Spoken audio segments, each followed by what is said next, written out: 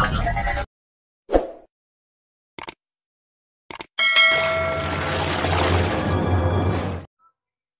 दोस्तों, मैं हूँ विनीत और ये अंकित भाई। आज हम लेके आए हैं आपके लिए बहुत ही मज़ेदार और इंटरेस्टिंग वीडियो इसमें क्या होगा? इसमें आपके लिए मज़ेदार तो है साथ में साथ एक नॉलेज की बात हो रहा है।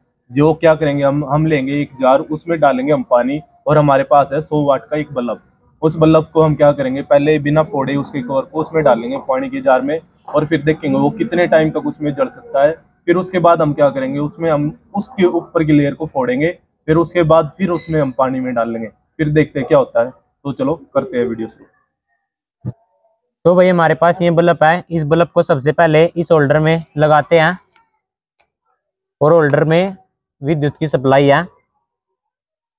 फ़िलहाल तो स्विच बंद है। अब इसको स्विच को भी स्टार्ट करवाते हैं। कर दे ये भाई बिना फोड़े पहले इसको हम पानी में डाल लेंगे उसके बाद देखेंगे हम क्या करना है। देखो ये बढ़ गया। ये तो पकड़ लिए। अब इसको डालते हैं आराम से पानी में। थोड़ा पीछे से होता है देखते हैं भाई कितनी बार तक ये इसमें जला रहेगा। इसको ज़्यादा डीप नहीं करेंगे क्योंकि इसके ऊपर जो एल्यूमिनियम की लेयर होती है, उसमें बिजली का वो आ जाता है।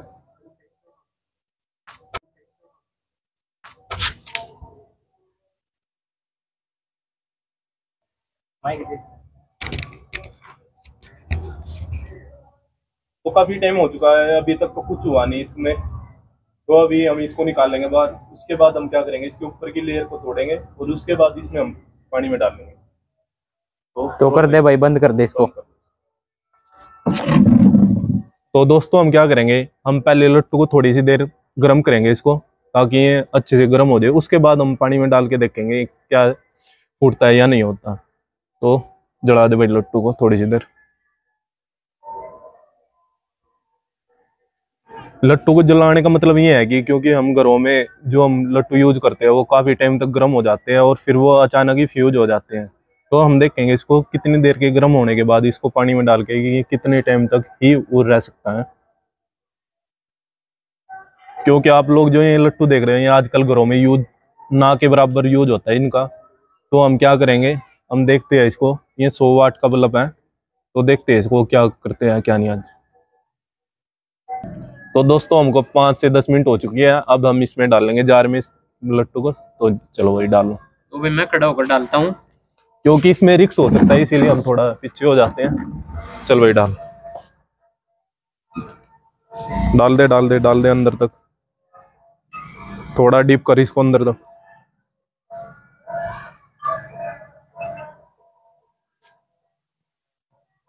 थोड़ा और जाने दे डीप कर इसको।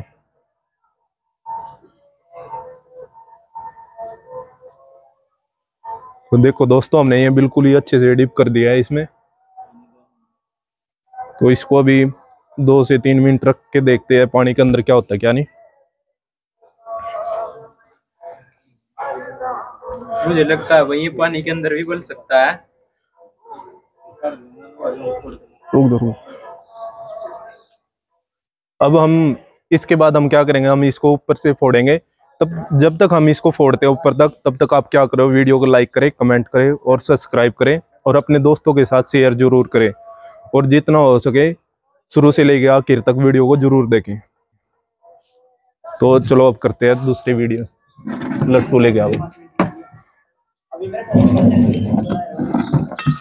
तो गाइस जो कल बल्ब थे वो बिल्कुल ही खराब हो चुके थे तो आज हम नए बल्बों के साथ आए हैं और आज इनको फोड़कर टेस्टिंग करेंगे पानी के अंदर। ये कितनी बार तक जले रहते हैं? तो चलो करते हैं स्टार्ट इनको फोड़ते हैं पहले। तो दोस्तों हमें क्या करेंगे? हम हम लोगों ने इसको सिंपल तो ये फूटा नहीं था, इसको क्या गया हमने घिसा लिया बड़े अच्छे से। तो अब इसको हम फोड़ते हैं। एक कपड़ा लेके आओ तो भाई अब इसको फोड़ते हैं। ये हमने यहाँ से घिस रखा है, ताकि इसको हल्की सी चोट से भी फूट जाए।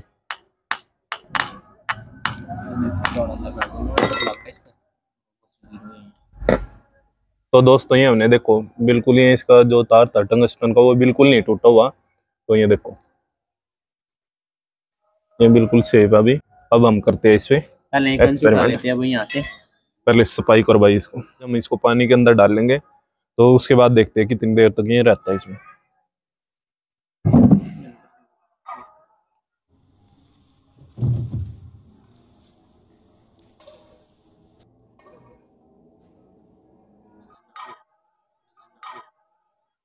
ये देखो दोस्तों इसमें नीले रंग की गैस निकली है। बंद कर दिया भाई? स्विच निकाल दी।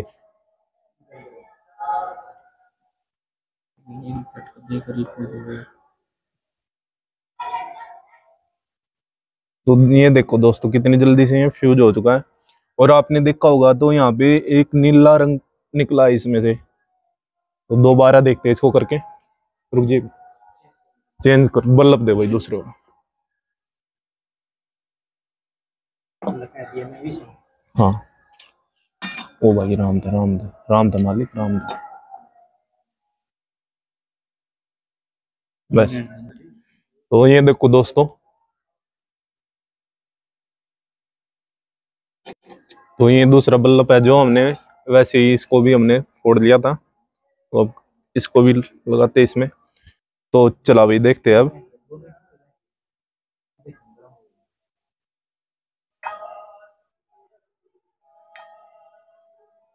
तो देखो तो देखो दोस्तों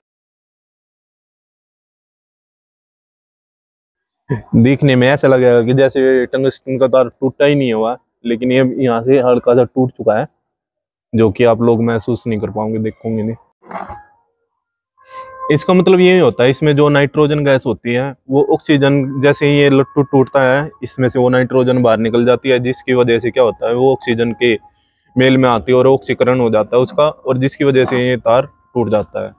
तो ये क्या होता है? ये टंगस्टन तार होती है। नाइट्रोजन इस लट्टू के अंदर भरी होती है, जिससे क्या होता है? जो ये प्रकाश फैलाती है और जिससे अगर कुछ बोलते हैं कि जैसे लट्टू को जला देते हैं, हम उसको, उसके ऊपर पानी के चिट्टे लगा देते हैं तो वो लट्टू फ्यूज हो जाता है। वो ऐसे ही नहीं होता, उसको काफ़ी देर जलाने के बाद, आठ से दस घंटे जलाने के बाद अगर उसके ऊपर पानी के चिंटे मारेंगे या पानी डालेंगे, तब जाके वो फ्यूज होता है। तो ऐसे ही फ्यूज नहीं होते हैं इतनी जल्दी से। वीडियो अच्छी लगी हो तो वीडियो को लाइक करें और ज़्यादा से ज़्यादा शेयर करें। और चैनल पर नहीं हो तो चैनल को सब्सक्राइब करें। धन्यवाद।